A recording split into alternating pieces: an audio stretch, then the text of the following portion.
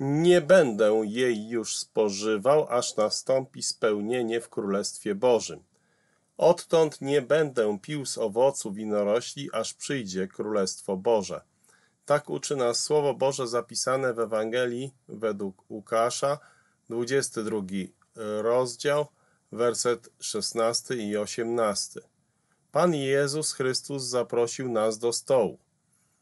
W Ewangelii Łukasza 22 od 7 do 20 Pan Jezus ustanowił własną wieczerzę. On sam z niej nie jadł, on jedynie ją dał.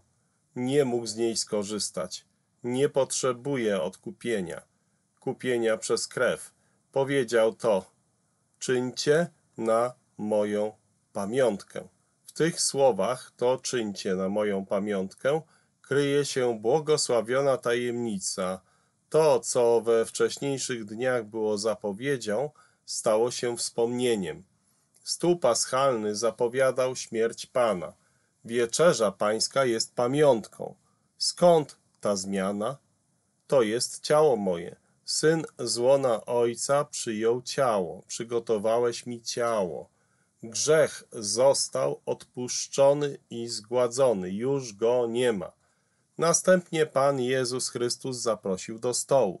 Zaproszeni do stołu wiedzą, że choć byli w grzechach, to grzech został zgładzony. Ciało przygotowane przez Boga zostało złamane na przeklętym drzewie, chociaż żadna jego kość nie została złamana, jak uczy nas Ewangelia według Jana, 19 rozdział, 36 werset. Grzech został zgładzony na zawsze. Temat wieczerzy koncentruje się wokół ofiary i wszyscy na niej myślą o śmierci. Tak samo jak wtedy myślał o niej Pan Jezus Chrystus. Jednak z tą różnicą, że oni myśleli o nim jako o umierającym, a on myślał o ofierze i o charakterze ofiary, którą miał wypełnić.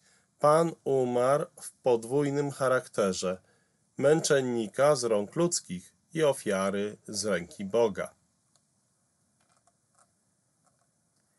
Nie będę jej już spożywał, aż nastąpi spełnienie w Królestwie Bożym.